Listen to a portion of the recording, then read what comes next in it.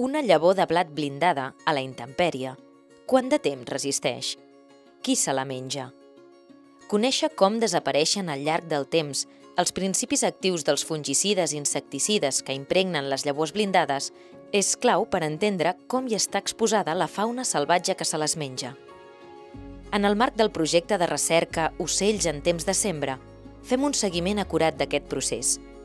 Amb els experiments de degradació, exposem les llavors al sol i la pluja, al camp, i n'agafem mostres setmanalment. Les enviem a analitzar al grup d'ecotoxicologia de l'IREC, a Ciutat Real. A partir de les mostres agafades setmanalment, s'analitzarà amb quina velocitat els agroquímics es degraden i desapareixen de les llavors. D'altra banda, per saber quina és la fauna que se les menja, més enllà dels ocells, com ara insectes o mamífers, es fan experiments de camp. En els propis sembrats, amb el vistiplau dels pagesos, definim uns quadrats d'estudi on hi dipositem un nombre determinat de llavors.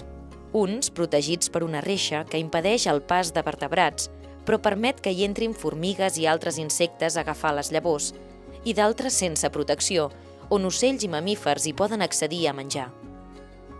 Les llavors es compten periòdicament per saber quantes en desapareixen en uns i altres quadrats.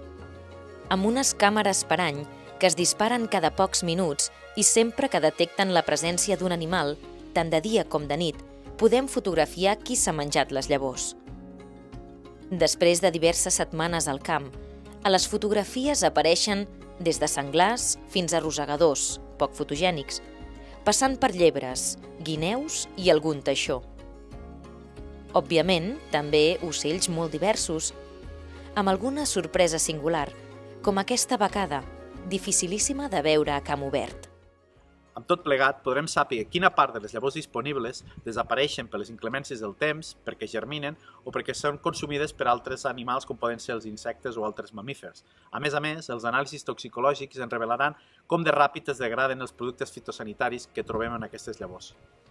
Més informació per anar composant el mosaic que ens ajudi a entendre les complexes interaccions entre l'activitat agrícola i la biodiversitat en benefici de la salut ambiental de tots.